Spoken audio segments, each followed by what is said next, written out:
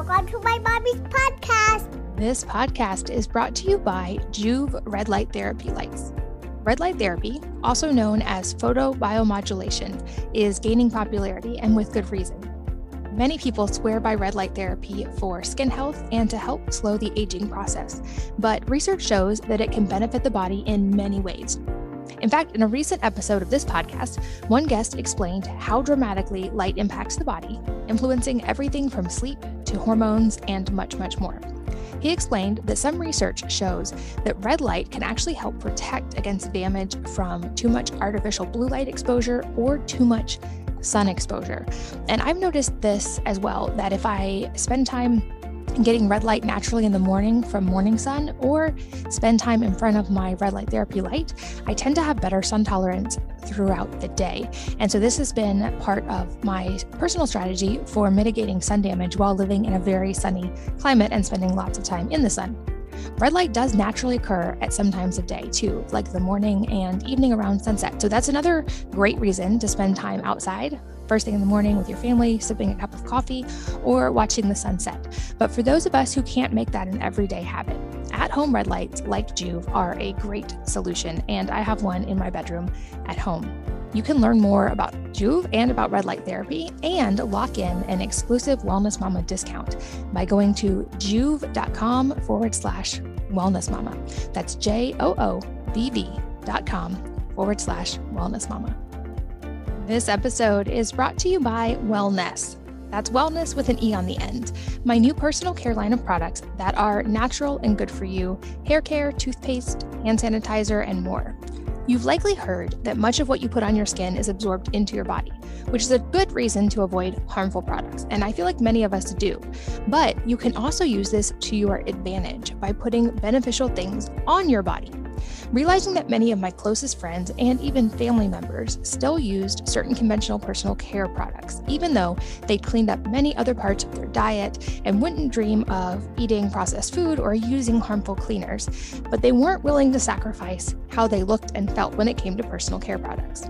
I set out to create alternatives that outperformed the existing conventional options, but without harmful ingredients and with beneficial ingredients that benefit the body from the outside in, and thus Wellnesse was born. Our good for you hair care and mineral rich toothpaste nourish your body from the outside in, while you hopefully nourish it from the inside out to have amazing hair and teeth. Check it out and learn more at wellnesse.com. That's wellnesse with an E on the end. W E L L N E S S E.com. Hello, and welcome to the Wellness Mama podcast. I'm Katie from wellnessmama.com and wellnesse.com. That's wellnesse with an E on the end. It's my new personal care line. This episode goes deep on some really cool science. It's about uh, neurosurgery specifically and spinal health, but we delve into also brain health, anti aging, and so much more. I am here with Dr. Marcella Madera, whose bio is so impressive. I actually have to read parts of this. She's an expert in surgical treatment of conditions of the spine, including degenerative spine disease, spine tumors, and degenerative deformity. She is world renowned for this, and she has expertise in all spinal approaches and minimally invasive surgery. She is board certified by the American Board of Neurological Surgery. But what's really cool is she's combining the cutting edge of surgical treatment with the cutting edge of alternative and even energy therapies. And she's getting really incredible results for her patients. And she talks about how this really has crossover into other areas of life as well, besides just spinal health. Uh, it always is exciting for me to find doctors who are combining alternative therapies as well. She shares my idea that this is very much a both and, not either or, and that there's a time and a place for both, and that often the best outcomes occur when we combine them. So, um, get into some fascinating and pretty specific info in this one, and I hope you'll enjoy as much as I did. Dr. Marcella, welcome. Hi, thank you so much for having me. I'm excited to get to know you a little better in this podcast. You come highly recommended by several people in my life who I highly, highly respect. And I am so excited to get to share you with everyone today. Your bio is super impressive. And I feel like even starting with just one thing is hard to pick. But I would love to start off by hearing about how you became a neurosurgeon, because that is an incredible specialty to begin with uh, and not an easy one, I would guess. Right. Um, well, thank you for asking that question. It's uh, dear to me how I became a neurosurgeon. So I knew I was a surgeon right away in medical school, and I wasn't sure what type I would be, but I loved being in the OR and I loved the, the calm and also the intensity. And I happened to do a neurosurgery rotation because you could choose between neurology and neurosurgery. I was thinking I was going to do plastic surgery. And um, on my rotation, I was just absolutely blown away by the beauty of the nervous system. Um, had a very guttural, instinctual response to the operations and the healing that we were creating with our patients. And I just knew deep in my soul, this is this is what I was supposed to do. So I jumped in. and that was the beginning of your career, right? Was very like strictly neurosurgery. Yeah, so I started out uh, conventional medicine neurosurgical residency for six years in Cincinnati, and then I did a spine fellowship for one year at Johns Hopkins in Baltimore, and then I went into private practice in Austin, Texas in uh, 2011. Okay, and that's where you still are. And I'll make sure I put a link. I know you guys are booked up in way in advance, but I'll put a link to your practice in Austin for anybody who is local there. And from what I've heard from my friends, you now have a thriving integrative practice, and you're addressing a lot more than just the neurosurgical side. So, how did that journey happen? Yeah. So, um, over time in my conventional practice, I had the experience over and over that I really wanted to offer additional care to my patients. I really wanted to heal more than cut. And I needed a way to be able to fully express healing that I wanted to give. And so I started out by doing my own education on alternative treatments, on holistic medicine, functional medicine, integrative medicine.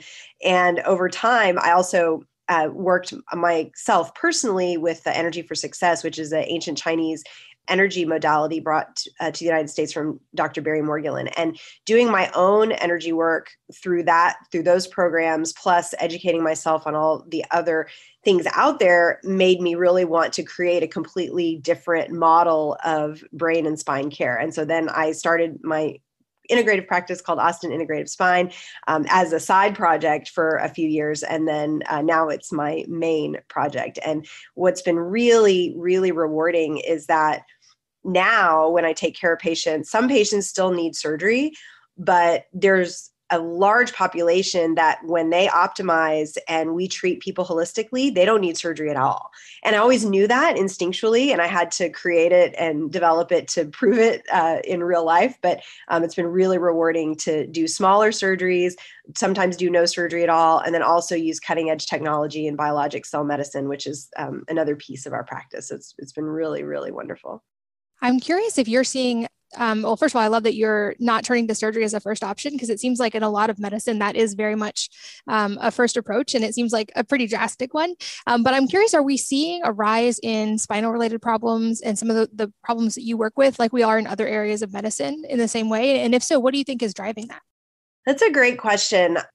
You know, in terms of a rise, I would say consistently are my conventional practice the I've been out of it now for uh, almost two years. Um, but at the time, I wouldn't necessarily perceive a rise. Um, what I perceive is a constant chronicity of disease. So there is a baseline amount of degenerative spine disease, especially, and, and also degenerative neurologic disease, but uh, degenerative spine disease is almost ubiquitous in the population. Everybody's got a back pain or a neck pain or whatever. And um, certainly with COVID, what we saw was, um, you know, frankly, they shut the ORs down. So we had a drastic decrease in the amount of patients that were able to be treated. We could only treat emergent patients. And so now, with things opening up, we are seeing an increase in people being able to be treated. I would say the chronic disease, though, in general, is steadily rising in terms of incidence just because of the our aging population and as you age, everybody gets chronic disease. That said, I feel like there are a lot of other contributors. It's not just wear and tear. Um, and that's part of my practice now is really getting to the root cause of that and preventing that. And so, do I think there's a rise? Yes, with an aging population, but it's it's so ubiquitous. It's always been ubiquitous. Gotcha. Okay. I'm curious what what you're seeing patients come to you for the most right now and or like kind of within the area of neurosurgery. Like what was your specialty and, and like what kind of what were you seeing in that area when you were practicing as a surgeon? Yeah. So the main things that I treated then, and still the, the same things I treat now, just I have a, a whole new additional bag of tricks uh, in addition to surgery. Um, but chronic or acute, so long time or uh, urgent, short time, um, back pain, neck pain, arm pain, leg pain from arthritic disease in the neck or in the low back. That's probably the the top, you know, 80% of stuff that we see. And in the surgical world, you know, there's a lot of things you can do before getting to surgery. And so in my conventional practice, a lot of times people would have seen um, pain management and you know all the done all the things seen physical therapists chiropractors and none of that worked. And so then they would come and and we would do surgery. And now it's the same population um, but now we have new tools. And so um, some of the things we look at are um, underlying uh, inflammation. Um, we have a laboratory panel to look at uh, in, inflammation. You know, a lot of patients come um, without knowledge that your diet can really radically affect your pain syndrome. And so, easy stuff like going on a low inflammation diet and doing a specific exercise that has mind body um, incorporated with it, um, breath work, some very simple supplements like vitamin D and omega 3 fatty acids. You know, those key things um, at the beginning can often lead to no surgery or lead to a, a optimization period and then a better recovery after surgery. That's fascinating. Yeah, and it makes complete sense that it's in the even in the case when surgery is necessary, it's not an either or, it's a both and. And I know I've seen that in interviews like in the cancer world for instance these cutting edge cancer doctors who are also using integrative modalities or encouraging patients to fast or using things that have or energy work things that have been researched in other areas and realizing they don't have to be at odds and i get so excited about that because i think long term the best outcomes in medicine are going to be when we can meld all of those tools together. So it makes me really excited when I meet people like you who are on the cutting edge of the medical world and also realizing the value in things like nutrition and lifestyle factors and the energy work as well. I'm especially curious about the like kind of energy and mindset and emotional component when it comes to specifically the realm of pain, um, because it seems like for a lot of people, uh, at least anecdotally that I've heard from, they will see, like you said, a shift in their pain response when they address inner stuff as well. And 100%. My story is not specific to pain, but I had a lot of health problems for a lot of years, including thyroid disease and trouble losing weight. And it wasn't until I addressed the emotional component that I was able to resolve any of those things. So I'm so excited to hear you say that you're integrating all these things. And I'm curious if you see that connection really strongly in the pain world as well. Definitely. Um, one of the really fascinating things that we have come across recently is this um, idea of what's called biologic decoding. There is a body of work uh, that has the name uh, New Medicine or Germanic Medicine. It's a bit esoteric, uh, but I've learned about it recently. And the idea is that all medical disease or all disease processes possibly are related to negative experiences that we have experienced as humans. And every single human has had a stressful experience in our lives. That's what being human is about. And so, using this um, very specific decoding uh, training that I've worked on, adding that to a mind body work with the energy uh, for success which is uh, breathing practices um, writing goals journaling there's some very specific practices that we have our patients do we have them do these practices leading up to procedures. And then during one of our biologic cell medicine procedures, um, we actually talk through some of these life stresses and we go back to the first uh, point of symptoms. And then sometimes we go back further and sometimes we go way, way back. And what's fascinating is doing all of this in combination allows the body to release pain and release disease. And it's, if you told me 10 years ago that I would be talking to people about their previous experiences and helping them heal, I never would have believed it. But I've experienced it myself. I've experienced it with my team.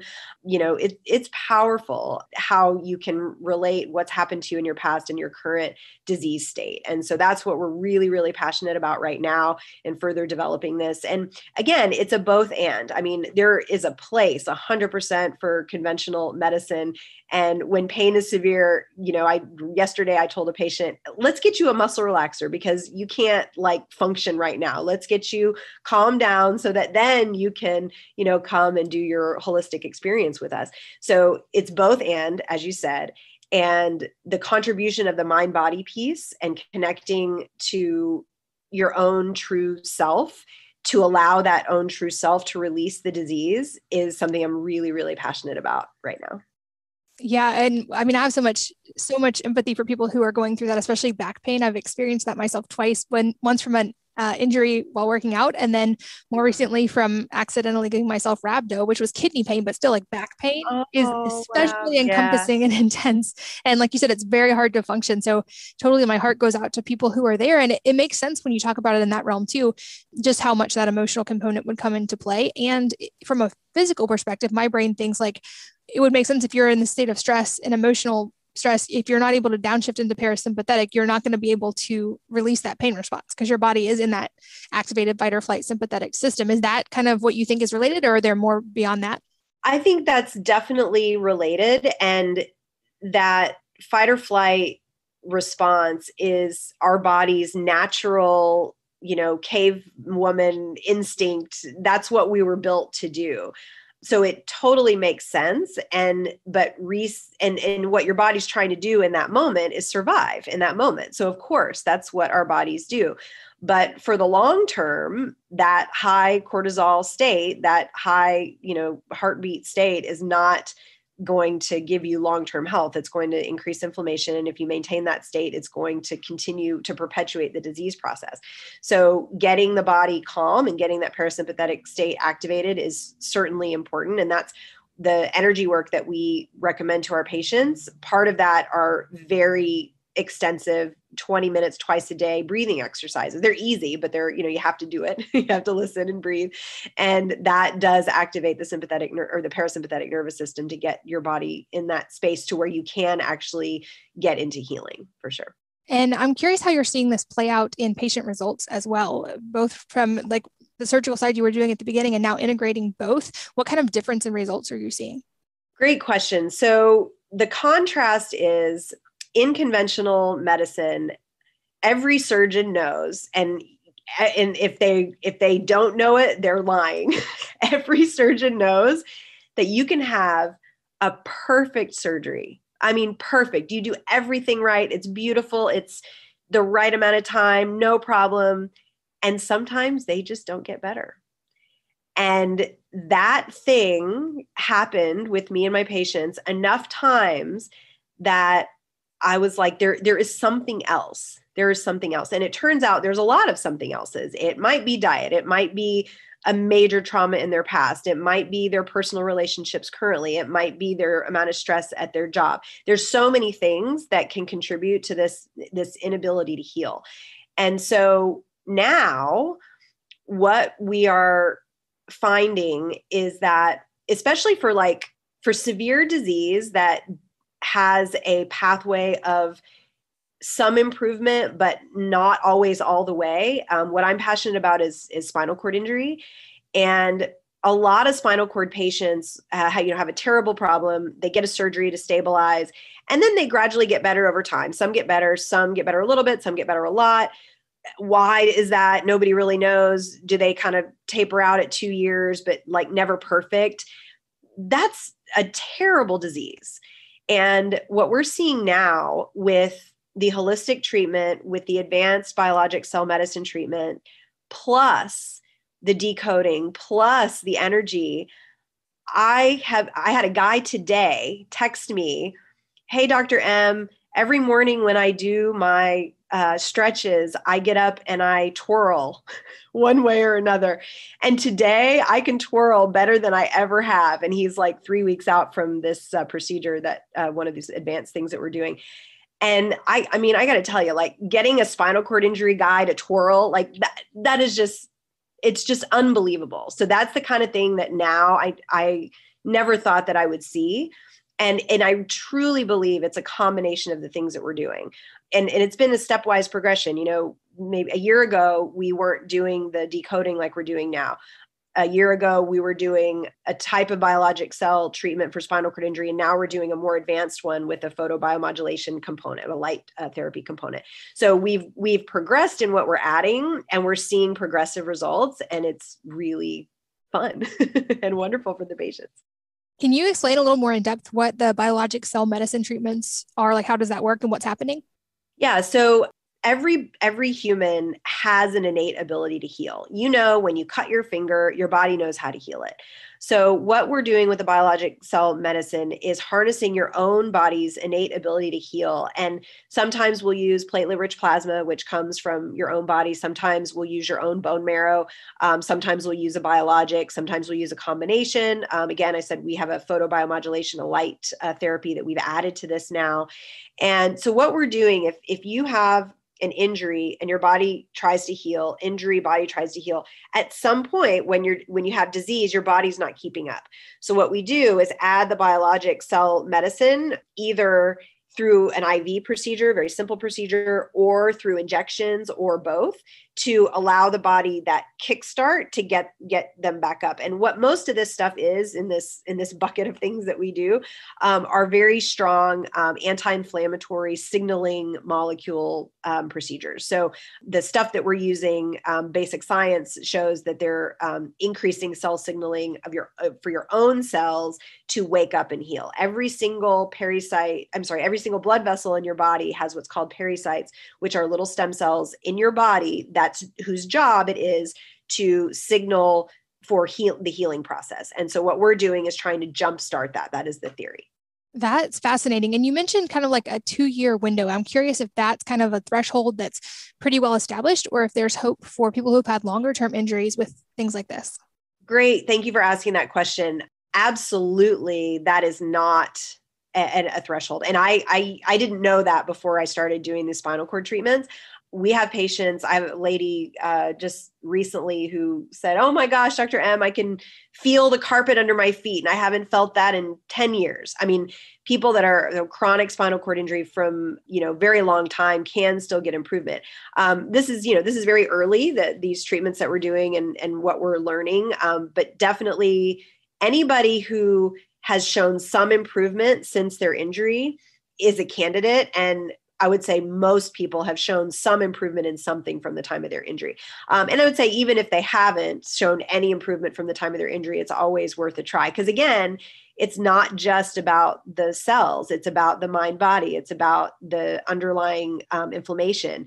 Um, and so we're not just doing one thing, we're doing a variety of things that can bring uh, health holistically. That is so encouraging. My on a personal level, my mom broke her neck when she was in high school.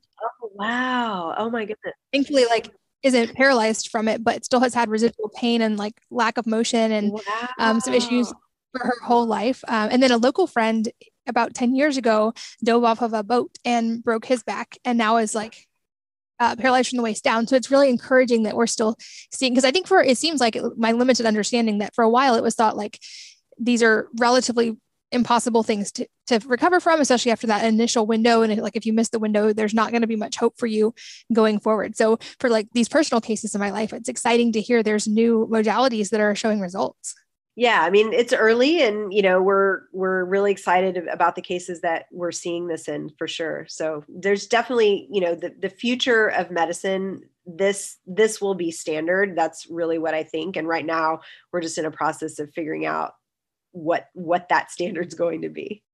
And you also mentioned that you think a lot of this the rise in spinal diseases is also related to an aging population which makes complete sense and you know it's no secret that we're seeing a rise in chronic and degenerative diseases across a lot of different areas um, which i think also is important to bring to the forefront the conversation on aging not just what we think of as aging like on a skin level and how we look, but more importantly on a biological level.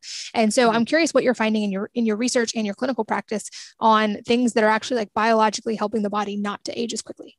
Great question. Um, so yeah, one of the things that we're really interested in is testing your age based on DNA methylation. Um, there's a, a, very wide body of research that you can, uh, there's specific tests. There's a couple different companies that do this where they can look at your DNA and how much methylation there is and give you your age based on your DNA.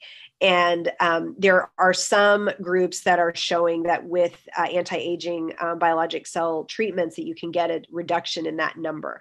Um, this is very, very early. Um, we've looked at a couple patients and we we just have our baseline numbers. We don't have our follow-up numbers yet, so we are looking at this. Um, you know, the other there's some really great um, advances with both energy work and combination with functional medicine and um, all of the things that that you do to optimize your body um, the biohacking uh, you know community. There are lots of ways to think about reversing aging. Um, i would say the science is not quite there in terms of like proving it but i can tell you the people that do all this stuff definitely look younger and definitely act younger. And i do think that we're you know 50 years from now we're going to have the answers to those questions for sure it's exciting to think about. And I'm glad that we're seeing some of these things because I also think in today's world, I've talked about this in other realms, but we're we have so many more inputs that our bodies are dealing with. So that's, I think, part of the reason we're seeing this rapid acceleration in all these chronic diseases is we're just facing a lot more environmental and food and emotional inputs than previous generations have. And so, you know, I often get the pushback from people of like, well, we shouldn't have to do all these crazy things and biohacking to be healthy. I'm like, I agree with you. I wish we didn't have to, but we have so many more inputs coming into play now that it's at least something to be proactive about, even if you're not going to do all the extreme biohacking things, but just to be very proactive in the approach to that. For sure. And you know, it, some some of the things are really simple, right? Like yes, it's cool to have, you know, light glasses that give you the optimal amount of light. And it's really cool to have you know a hyperbaric oxygen uh, at your home if you can afford that. I mean that's great. Um, but like there's a whole lot of simple things that people aren't doing because of all these inputs right? So there's so many inputs. Our our society is so fast paced we have our phones all the time. We're always doing you know social blah blah blah. And like going and taking a walk barefoot in the trees and taking a vacation sleep you know like there there are so many simple things that will keep you young that um, sometimes i feel like we it's like okay we want all the inputs so then we have to do all this other stuff to keep up with the inputs. But maybe if we just like cut down on the inputs a little bit we might get the same effect. And that's way cheaper frankly. And so that's why i'm really really passionate about the mind body piece and the energy for success work um, is that it's a daily practice. Um, you do it yourself at home um, or you can do it anywhere. It's great to do it out in nature but there's simple practices and it is every day. You do have to pay attention to it every day but that work alone has taken years off me uh, personally i believe so everybody tells me I, am I'm, I'm looking like i'm getting younger so that's good well yeah i think that's an, an important point as well is that it's tempting to want to go find the silver bullet that's all these fancy treatments but like you personally i've seen the biggest results from things like optimizing sleep and sunlight and hydration, things that you're going to need to do anyway. And if you can just improve those, it has a carryover effect. And if you aren't focused on those, you can spend a lot of money on all these other things and they're not going to be as effective anyway. So I've become a very big fan of things, simple things like morning sunlight and getting enough sleep and fasting in different forms at different times. I think there's just these yes. free tools that we can use. Um, and I'm excited, like I said, to see the integration of all of these things together. Mm-hmm. Definitely. Also, anytime we're talking about neuroscience and neurosurgery, there's obviously, I would guess, a big brain component here as well. And I think this is a topic that's really exciting to delve into for everyone, especially there's a lot of parents listening. Uh, and I talk a lot about education as well um, as a homeschooling parent and working on building out an educational system. And so I'm curious if you have any advice from the neurosurgical side of how we can best support our brains, both as adults as we're aging and also in our kids to give them the most solid foundation early on. That's a great question. You know, the the foundation for things that we just talked about. So sleep, sleep is probably number one, two, three, and four. I think for aging brain, certainly mitigating inflammation is a huge thing. All of the neurodegenerative diseases have pathophysiology related to inflammation. And if you know that that runs in your family or even um, being proactive, as you said, you know, getting your genetics looked at and see if you're at risk for neurodegenerative disease is important diet i feel like is a huge piece of that. And you know a simple low inflammatory diet most of the time i think is an easy thing that anybody can do. It doesn't mean you can't ever eat your favorite things. It just means that most of the time your baseline is low inflammation. Most of the time you're sleeping adequately. Most of the time you're not drinking alcohol. I feel like those are easy things that anybody can do. And uh, exercise is a huge piece of that. So you know high intensity interval training um, a couple times a week is wonderful there are lots of different recommendations in terms of exercise but i mean frankly just move you know like that's that's an easy one that anybody can do and then um, and being outside in nature for sure that we talked about already and then um, in terms of children I really feel, and I, you know, so I'm, I'm a mom of two. I have a six year old uh, and a two year old, both girls. And I really feel like kids need space, free play space. And I see in my own kids when they are over uh, traveled, over scheduled, over structured, that their brains don't work as well, and um, and, and over deviced uh, as well. And you know, I have the same uh, challenge as anybody else does. That's a working parent or stay at home parent. That you know, kids want to be entertained all the time, and so keeping their brains free and having that open play time is like high high priority and and obviously sleep um, you know making sure that they have a, a schedule that that supports sleep for sure I am so excited to have a neurosurgeon on the record saying it's important for children to play because I have been saying this for years. And that was actually the impetus for building my whole educational system from the ground up was realizing when my oldest hit school age that I was looking at like what's going to best prepare him for adult life. And is it traditional school? Is it homeschooling? And I realized there wasn't any approach that I felt like really embraced all the things kids need to develop yeah. the really important things like creativity and critical thinking and imagination. And I think a huge component of that is play and unstructured time and the space to be bored, like all these things that get taken away in our overstructured life. Um, and I think those things are important for adults too. We often forget that we're supposed to play as adults and do fun things and the movement component. So I love that you brought that up. That's so important. This podcast is brought to you by Joovv Red Light Therapy Lights. Red light therapy, also known as photobiomodulation, is gaining popularity and with good reason. Many people swear by red light therapy for skin health and to help slow the aging process, but research shows that it can benefit the body in many ways. In fact, in a recent episode of this podcast, one guest explained how dramatically light impacts the body, influencing everything from sleep to hormones and much, much more. He explained that some research shows that red light can actually help protect against damage from too much artificial blue light exposure or too much sun exposure. And I've noticed this as well that if I spend time getting red light naturally in the morning from morning sun or spend time in front of my red light therapy light, I tend to have better sun tolerance throughout the day.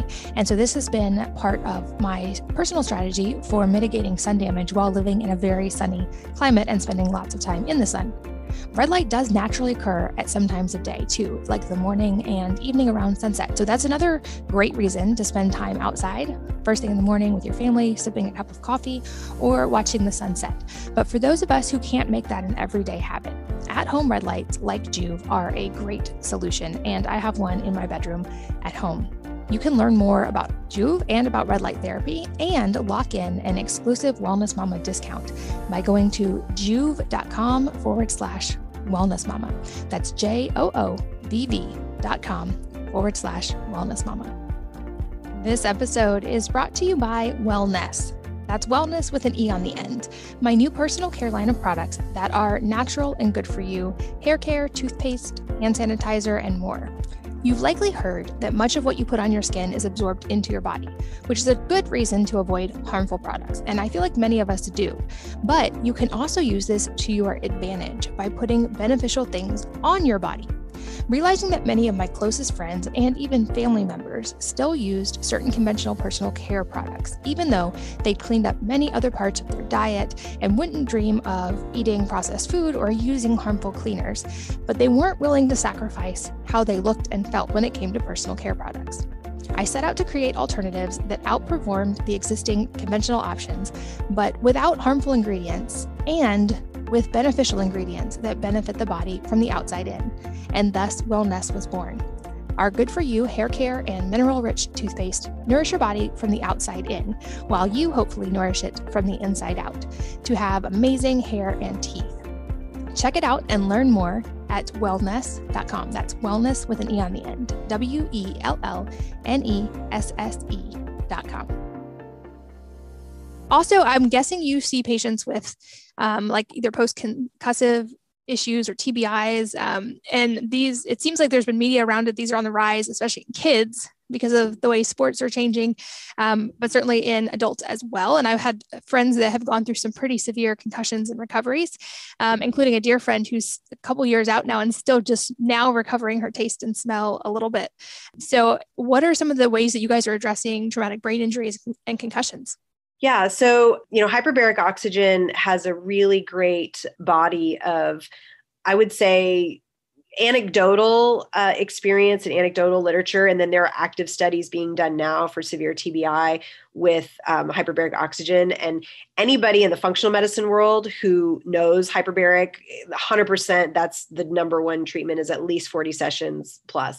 Um, I think that's an easy thing. Um, you know, it's it's pretty accessible now in most places, and we partner with um, a great center here in, in Austin, Texas that we work with so that's that's a big one. I think um, the same things i said before with uh, optimizing inflammation. So low inflammation diet sleep.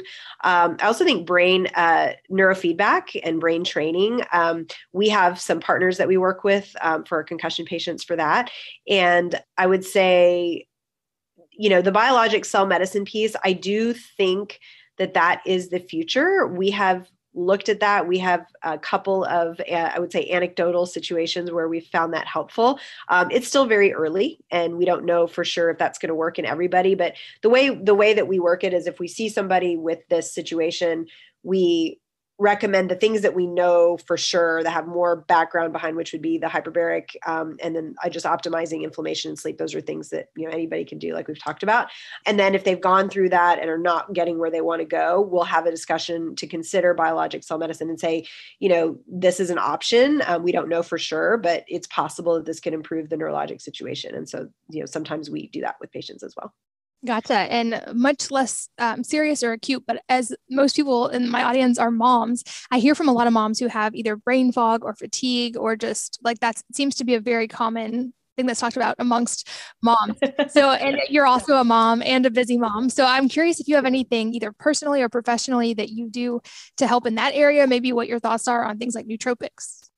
Yeah, so um, great question. So, one of the key things that I started doing a few years ago, um, just for my own energy level and tinkering with different diets, um, I'm a big proponent of Dave Asprey and Bulletproof and um, the butter coffee. I like for my body, it works really well. And so, in terms of in the morning, my routine that kind of gets me have my powerhouse you know morning. I usually every morning i spend some time with my two year old before i go to work um, after the six year old goes to school.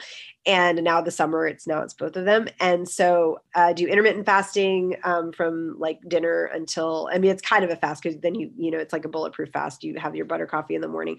Um, so in terms of nootropic in terms of you know caffeine and butter i think that's that that's what works for me. I really enjoy that.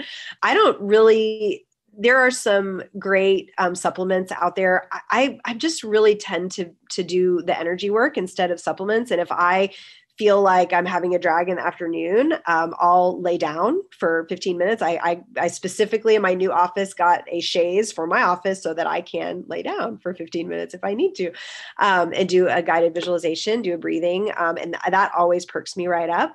And then the other thing that I that came to me when you asked the question is um, you know being a mom and working or whether you're working or not you're you're always whether you're working outside the home or in the home being a mom and doing all the things that moms do because we know we do more than whatever it is somebody thinks we're doing we're doing like a hundred things more. That, that's a given. So it takes a daily attention and it takes a daily practice. And that's what i learned about really when I went back to work after having my first kid. If I let up, if I don't pay attention to myself uh, expansion or myself being full, it I, I can't do it. it. You know, I'll be tired or I'll be have a bad attitude or I'll you know say something grouchy to my kid.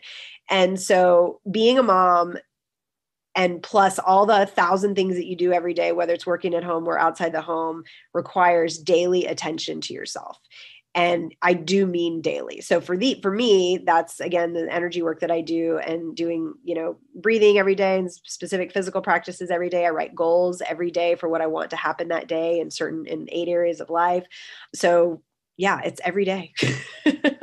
you can't, you don't get off the hook.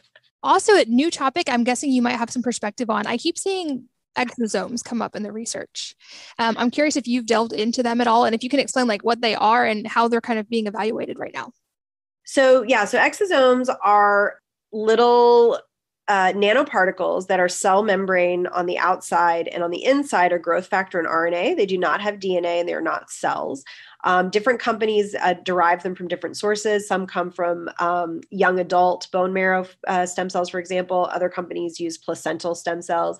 Um, they are uh, completely non FDA approved right now. There, um, a lot of the companies were marketing them as a biologic. Now the FDA is saying they need to be they need to be on a pathway to become a drug, and so any of the companies that are going to stay around have to have an IND with the FDA to be able to even sell their product anymore.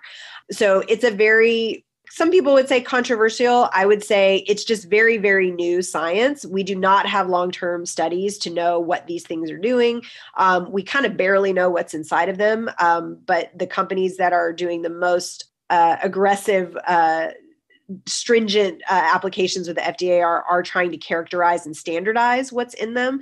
So I would just say they have a huge amount of promise. Um, the companies that I know are that are doing these IND applications are doing them for COVID, and I do know of some anecdotal reports of um, of treating ac- both acute and um, chronic COVID, and these have been published in peer reviewed journals. So there there is some early science. I think it's incredibly promising. Um, I just for treating diseases that are outside of the realm of what um, their uh, INDs are for, I would say we have no idea. but we'll we'll we'll know in a couple years, I think. That's exciting too. Um, let's see. So you you're doing a wide range of therapies with a wide range of patients. I'm curious, what is the most unusual thing or surprising thing that you do in your practice? I think. Well, this is this is so when we got this new technology, which is this um, photobiomodulated PRP thing, we saw these really great results with a variety of things like knee pain or hip pain or back pain or whatever. And we also saw uh, someone else that was doing this had some great cosmetic results. And I was like, well, I'll just try that because that would sounds great. And so I had uh, my dermatologist friend uh, do microneedling for me. And then we did this procedure, and I, my result was great. And I was super thrilled with it. And other people that I had not talked to saw me on a Zoom were like, you look great. You guys got to do this. So we developed um, what's called the Aphrodite makeover, which is um, this same process we do uh, for women. We do face, uh, breasts, and um, sexual enhancement. And then for guys, we do face, hair, and sexual enhancement. And so if you had told me 10 years ago that I would be doing cosmetic sexual optimization for people, I would be like, what does it even make sense? But now it totally makes sense because it's a natural progression of if we're going to fix somebody and help their acute problem and help their pain and get them back to a life that's better than they can imagine, which is my goal for every patient, why wouldn't I then say, let's now work on your beauty and sexual health? Why not? Like, if we have the power to do that and we have the tools to do it, and it's so much fun and it's so rewarding. And so, um, our dream is is putting these two makeovers together. The with the female, the Aphrodite, the male, the Eros. Patients come together as a couple and do this treatment. And with the treatment, we do the energy work, we do the decoding, and they, they make goals about their treatment and how they want to connect. So it's a really fun uh, part of my practice that completely unexpected and uh, we're just having a great time doing it well and you've mentioned the energetic side several times and the energy for success especially so I want to make sure we touch on this a little bit more. And uh, is this something that you offer specifically through your practice? Are there resources available for people to learn about this? Because you mentioned it's been personally very helpful for you as well. So I want to make sure I provide resources for people to find out more. Yeah, thank you for asking. Um, so, Dr. Barry Morguelan's program is called Energy for Success, and you can just go to energyforsuccess.org. And there's a variety of ways to connect. The the programs, there are various programs that you can do, but the, the core thing that we do in our practice is there's some there's a guided visualization that we have been given permission to give to our patients and some specific practices that we give to our patients to optimize their healing before and after a procedure or sometimes with no procedure and they just do it you know while they're under our care. So you don't have to be a patient for sure to access this. Anybody can access it. And what's been really wonderful to see from the medical side is you know patients come in and they have a problem and they're sitting in my office and they're asking doctor what do i do? Tell me what to do and it's almost like they're at the end of a fishing hook. Like uh, you know they the, the, information gap is so wide. You know people come in and have no idea what their images mean and have no idea what their pain means. And they've gotten four other opinions and none of them make sense. And it's really hard and it's confusing and it's scary. And when you're in pain this whole process is just really scary and you know confusing. So what this work does is gives you the patient a way to participate in your care from day one. And it's getting it's it's something that you have to take on yourself and you do it but you are contributing to the healing of your body. So you're not just on the receiving end of your healing you are contributing to the healing and, you know, again, it's simple stuff. It's what we tell patients to do is a guided visualization twice a day. There's a goal writing practice. So I write goals for my own patients, meaning I want this procedure to turn out perfectly. I want it to take this amount of time. I want them to have complete resolution of X, Y, and Z. And I write those goals every single day for my patients. And when our patients come in for procedures, we coach them on writing their goals for themselves. So we're both harnessing um, this energy work to get the best outcome. And then for people that are not necessarily in pain or having you know a health problem how this energy works is allowing you to access i mean for everybody it works this way but you don't have to have pain to have it work.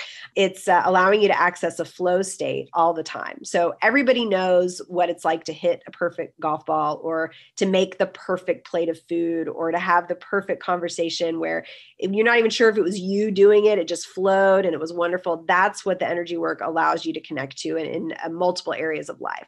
And so um, anybody who's interested just go on the website read more about it and uh, the programs are really really life changing and that's i started doing it for myself seven years ago um, to manage uh, help manage being a neurosurgeon and being a mom and you know wanting it all frankly. And um, it was so powerful for me that i wanted to share it with my patients. So that's what i do now. And I think a really important thing you just brought up is that idea of having them be an active participant in their care, which is also such an important mindset shift.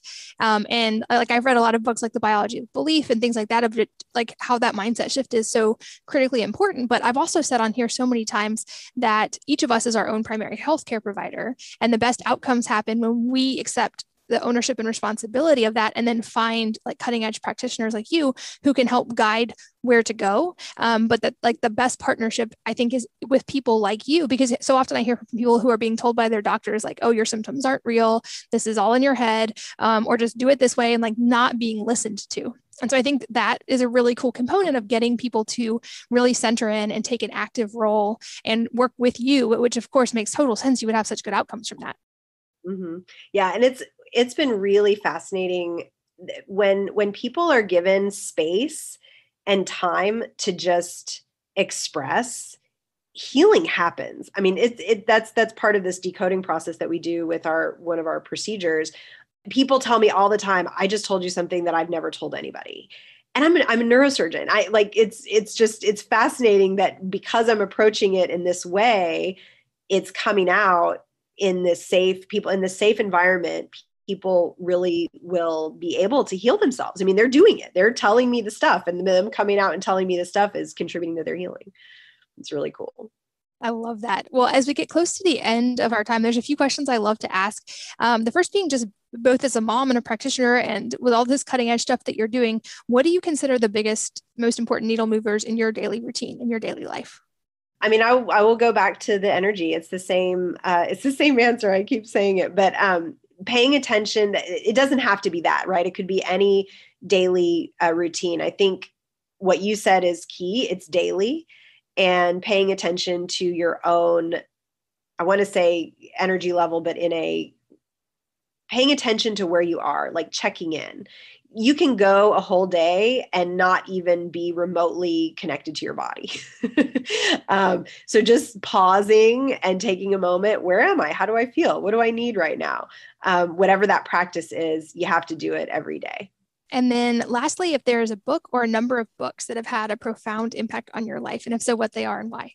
So um, this was this is a hard question because there's so many great books. Um, when I was younger, I think the one that stands out the most is probably uh, Sound and the Fury, which is Faulkner, um, and I think it stood out because my brain really stretched with reading that and interpreting that and working through it with my teachers and i really gained this idea of wow like i i'm really smart i can totally do this this is amazing um, so i just remember that being a powerful i mean the story is wonderful and the prose is amazing and it's written in this very different way the things that i'd never experienced before and that experience of reading something that was new and I'd never experienced before and then being able to do it, that's a flow state. That's like I doing something that's new and then experiencing prowess within it. That's what we have access to all the time. And I experienced that as a kid reading that book. And that's that's with the energy work I do now. That's my goal now to experience that all the time. Um, and then as an adult, there's another book um, that was really powerful for me called uh, Power versus Force. And it's David Hawkins. And it's about um, universal consciousness and how the answer to every question uh, exists and how to access that. And it's really um, profound uh, quantum uh, information. I love it. I'll put both of those in the show notes as well as links to everything we've mentioned in this episode and a link to your practice and to the Energy for Success information. I'm so excited, like I said at the beginning, to know there are doctors like you who are on the cutting edge of combining all of these modalities. And I'm so appreciative of your time. I know how busy you are. Thank you so much for being here today.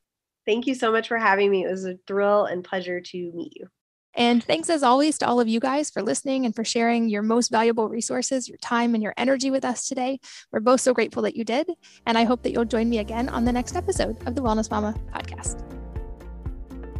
If you're enjoying these interviews, would you please take two minutes to leave a rating or review on iTunes for me? Doing this helps more people to find the podcast, which means even more moms and families can benefit from the information. I really appreciate your time, and thanks as always for listening.